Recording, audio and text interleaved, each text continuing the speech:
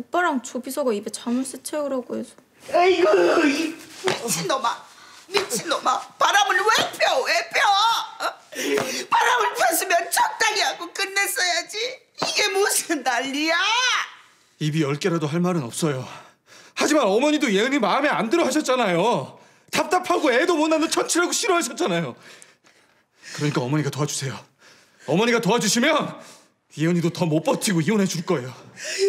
이 미친 내가 어떻게 애미한테 이혼하라고 해 바람핀 네 애비 평생 저주하고 이혼 안 하고 버티고 산 내가 어떻게 애미한테 너랑 갈라서라고 하냐고 그럼 저 망가지는 거 보고 싶으세요?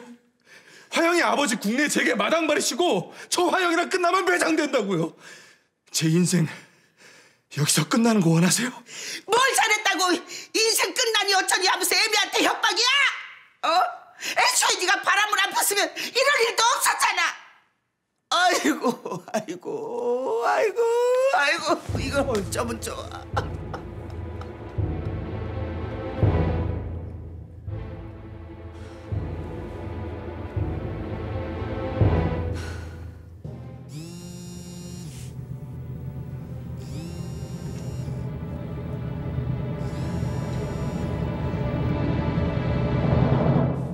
사모님 식사하셨어요?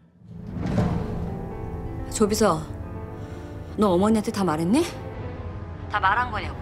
빙고. 어머닌? 어머니는 괜찮으셔? 착한 척하기는 뭐? 윤여은 씨, 당신이 착한 척 고상한 척 하는 것도 얼마 남지 않았어. 어머니도 아셨으니까 우리의 이 지겹고 더러운 게임도 끝나겠지. 이 게임의 승자는 나고 당신은 진섭 씨랑 어머니에게서 처참하게 버려질 거야. 그때도 착한 척 고상한 척 할 수 있는지 어디 보자고.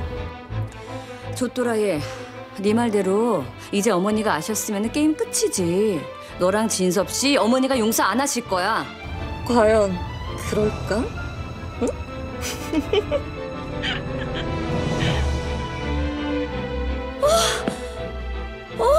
소름 끼쳐. 아, 조비서, 아, 너 너무 징그럽고 소름 끼쳐. 아, 아 닭살도다. 용서를 안 해 어머니가. 웃기시네. 돈 좋아하고 욕심 많은 속물에 아들이라면 벌벌 떠는 그 노인네가?